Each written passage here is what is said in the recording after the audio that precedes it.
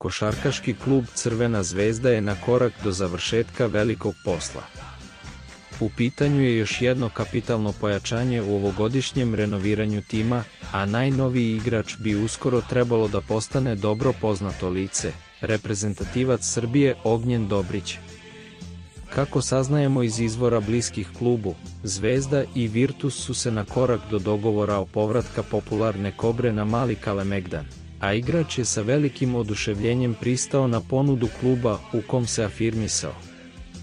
Dobrić je šesto pojačanje Zvezde u ovom roku, posle Kalinića, Kenana, Plavšića, Dauma i Mekintajera. Podsjetimo, Dobrić je čitavu svoju karijeru proveo u Srbiji, gde je od 2013. do 2016. igrao za FMP, da bi u narednih sedam sezona nosio dres Crvene zvezde. Prvi inostrani tim mu je bio Virtus iz Bolonje, u kom je beležio nešto manje od 5 poena u proseku u elitnom takmičenju starog kontinenta.